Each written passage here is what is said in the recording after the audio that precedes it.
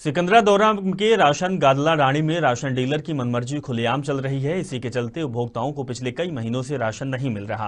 उपभोक्ताओं का कहना है कि डीलर मुन्नालाल सैनी राशन देने से इंकार करता है। साथ ही डीलर मुन्ना ने शराब के नशे में उपभोक्ताओं से अभद्रता की। मामले में पीड़ित मोहनलाल सैनी ने सिकंदरा सरपंच रामावतार सैनी को मामले से अवगत कराया। पीड़ित ने राजस्थान संपर्क पोर्टल पर भी शिकायत की। अब देखना होगा कि प्रशासन कार्रवाई क्या करता है।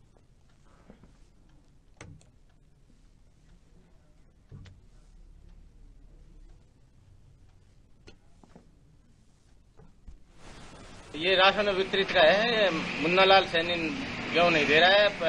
फ़ोन करके बुला लिया फिर मना कर दिया। गाड़ी बचता है पीका के मस्त रहता है। अच्छा आप पहले पहले गए थे आपने क्या किया? पहले भी दे दिए कंट्रोल रूम पे भी शिकायत कर दी। अच्छा और अब दोबारा भी नहीं दिया? नहीं दिया दोबारा भी तो जाके आ गया। अच्छा अच्छा तो अब क्या कहता है ये?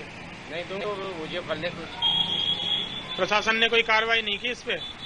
शासन ने तो अभी तो एक, एक बार तो फ़ोन करके बुला लिया कि दे देगा गाँव ने नहीं दिया गाँव।